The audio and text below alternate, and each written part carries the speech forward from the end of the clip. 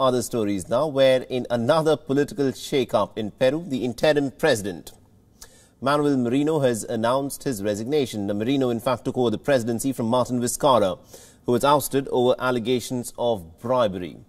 Merino had been in office for less than a week after Peru's Congress had voted on the 9th of November to remove Martin Vizcarra as the president over bribery allegations, which he has denied. Neither Merino nor the head of the Congress have said anything about who would now be named as the president. In a televised speech, Merino had said that his resignation was irrevocable, and he also called for peace and unity.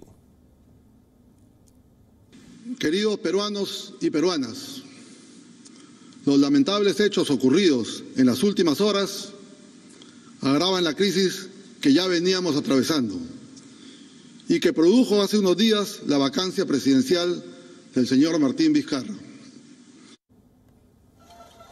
And after Vizcarra's impeachment, thousands in Peru had in fact staged of the country's largest protests in decades. The protests were mostly peaceful, but were increasingly marred by clashes between the protesters and the police.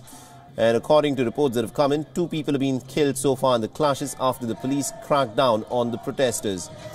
Peruvians poured onto the streets to celebrate Merino's resignation. They waved flags, chanted, and also banged pots.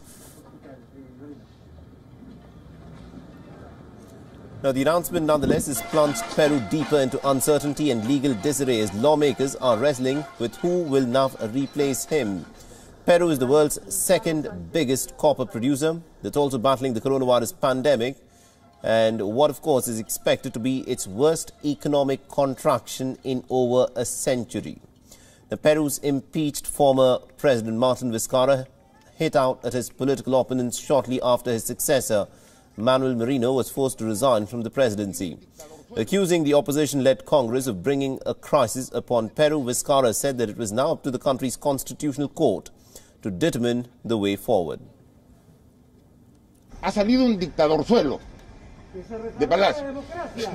No se trata de cambiar por otro que tenga mejor, más estudios o que tenga mayor empatía o simpatía. No, de eso no se trata. ¿Qué es lo que espera la población? ¿Qué cosa es lo que espera la comunidad internacional? La comunidad internacional. ¿Qué espera la comunidad?